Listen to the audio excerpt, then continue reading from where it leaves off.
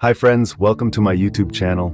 Today I'm going to explain basic information about Windows DNS configuration. Open the Server Manager on your Windows server. Click on Manage in the upper right corner and select Add Roles and Features. Click Next until you reach the Select Server Roles screen. Find and select DNS Server from the list of roles. Click Next and then Install to begin the installation. After the installation is complete, go back to the Server Manager. Click on Tools in the upper right corner and select DNS from the drop-down menu. In the DNS Manager, right-click on the server name in the left pane and select Configure a DNS server. Choose the appropriate option based on your network environment. For a standalone server, you can select Create a Forward Lookup Zone and create a Reverse Lookup Zone. Click Next. Follow the wizard to create forward and reverse lookup zones.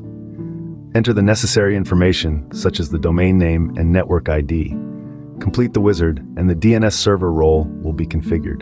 In the DNS Manager, expand the server name and select Forward Lookup Zones. Right-click on the zone you created and choose New Host A or Explore. Enter the desired host name and IP address. Repeat the process to add additional records or create other record types like CNAME, MX, etc. On a client machine within your network, open a command prompt. Use the nslookup command to query your DNS server. Replace example.com with the domain you configured. Verify that the DNS server correctly resolves the domain to the associated IP address. By following these steps, you should have successfully set up a basic DNS server on a Windows server. Adjust the configurations as needed based on your specific network requirements.